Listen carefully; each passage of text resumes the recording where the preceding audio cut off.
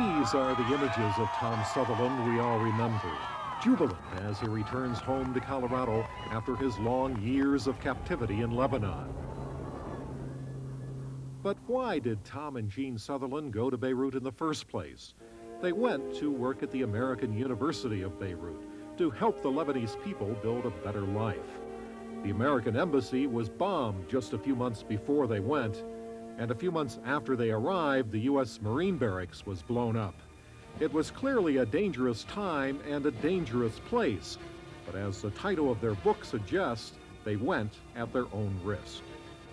People came out here to the west in the early settlement days. It wasn't exactly a safe and secure place in any means, but that didn't stop Americans from coming out and settling this part of the world. We had maybe two choices. You cut and run and say it's dangerous, we don't want to be here. Or you stay and do a job. And we had contracted to do a job. And somehow it did become kind of a mission because there was so much worthwhile there. University professor Thomas Sutherland has disappeared. June 9, 1985. In a scene recreated in an HBO movie, Sutherland is abducted by the Islamic Jihad. He writes that he wasn't afraid, that it all seemed like a dream. It was all kind of unreal, and you have that kind of exhilaration, and that lasted for two or three days. I thought, wow, not many people have this happen to them. I can write a book about this. But soon, the reality of his plight sunk in. After four weeks in captivity, he was locked up with chains around his ankles. I bent down and said, that's much too tight, much too tight, don't I? Boom! A big slap on my hand. Ah, my God, that was a shock. I, mean, I had had that done to me since I was in first grade or whatever. Back in Colorado, meanwhile, yellow ribbons are going up to show support for the Sutherland family. Through it all, Jean keeps her composure. If you cry and let down, um, I mean, you, you've lost it. I mean, there's nothing that you can do. But if you hang in there, there are things that you can do. Tom Sutherland, American University in Beirut. Tom Sutherland writes that when he was first kidnapped, he was sure it would last only a few days or weeks. He could not imagine he'd be in chains for the next six and a half years. Roger Wolfe, 9 News, Northern Newsroom.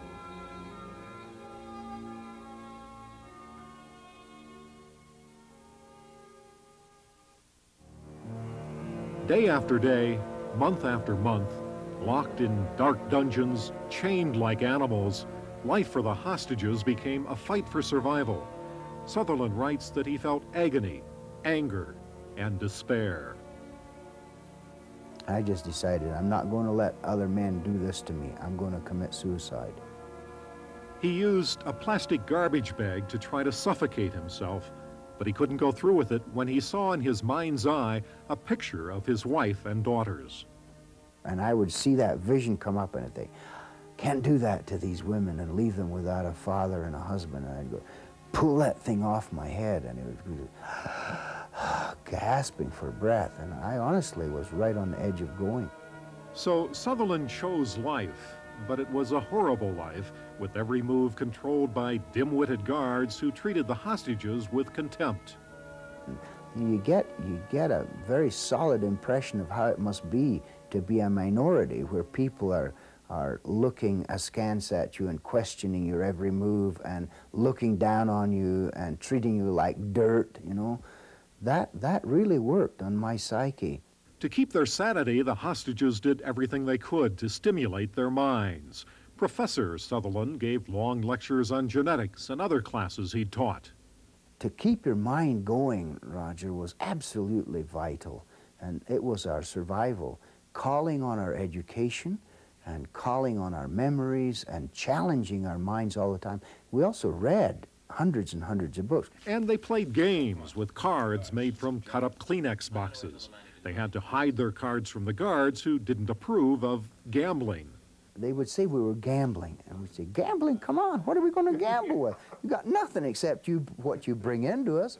But they weren't very rational, of course, about all of that. Sixteen times Sutherland was moved to different dungeons each trip was harrowing. Sometimes the hostages were virtually encased in plastic tape.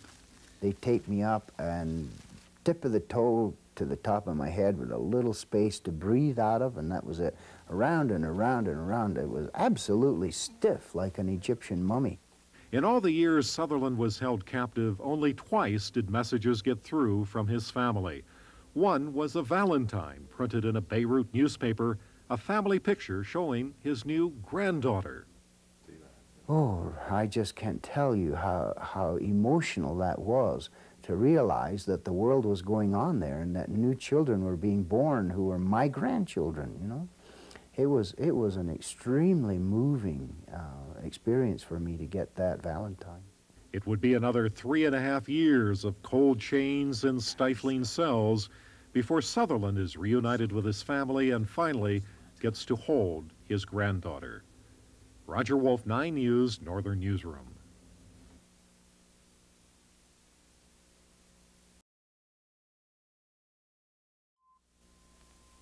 For six and a half years, life for Tom Sutherland was a marathon, mind numbing struggle for survival. 2,354 days of dark dungeons, cold chains, blindfolds, and boredom. Finally, on November 18, 1991, Sutherland heard the words that would end his captivity. The guard comes through the door and he says, We have good news for you today. Terry Anderson says, Like what? And he said, Today, Mr. Waite and Mr. Sutherland go home. And I said, Yabba dabba doo. The very next day, Sutherland was at the U.S. Army Hospital in Wiesbaden, Germany, where he was reunited with his family. A moment so tender he can barely describe it. The door starts to open a little bit, and there was Kit peeking around the edge of the door. And right behind her, Jean. Oh, God. I can't, can't tell you how, how emotional that was for me, Roger. I, I don't mean to get too emotional now, but that really, after six and a half years of waiting for that. The next day, a composed and confident Tom Sutherland dazzles the world media with his tales of captivity. While other hostages have had to cope with serious emotional problems, not so for Sutherland. And I can honestly say I have never had a bad dream about all of that. When I stepped out of that room there in the Bekaa in Baalbek, I figured, man, I'm free. I'm going to enjoy this freedom. And so it was a jubilant Tom Sutherland who arrived back in Colorado to receive a rousing welcome. Thousands lined the streets as his motorcade drove through Fort Collins. For the whole Sutherland family, it was symbolic of the support they received during this long ordeal. And they showed it in that homecoming, the Moby Gym and the, and the uh, bagpipers, and the people just thousands and thousands of people and little children who hadn't been born, you know, when he was taken or ever known him at all. Um, uh, it just humbles you terribly much. While Sutherland clearly relishes his freedom, he writes in his book that captivity wasn't entirely a negative experience, that there were actually lessons to be learned from those years in shackles.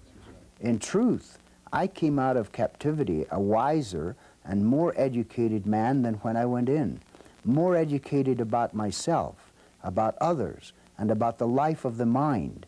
And there isn't a place for bitterness in me about the whole thing. Since his return, Sutherland has become a popular inspirational speaker. He's been all over the country sharing his story and his message.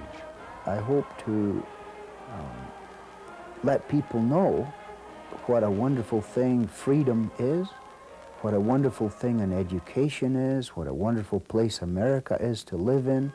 And I think we all take some of these things too much for granted. Tom Sutherland takes nothing for granted anymore. He rejoices in his family and savors his freedom. Roger Wolfe, 9 News, Northern Newsroom.